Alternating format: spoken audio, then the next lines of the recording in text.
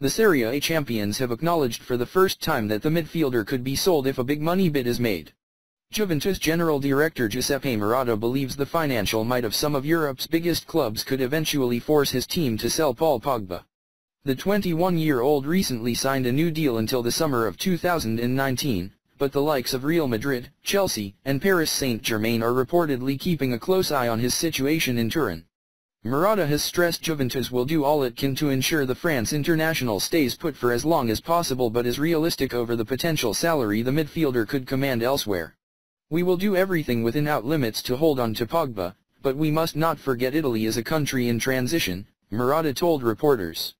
The problem we have is that of offers coming in from other clubs offering him a salary that we are not able to match due to our financial situation.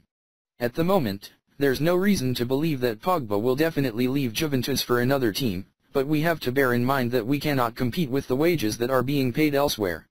We have our limits.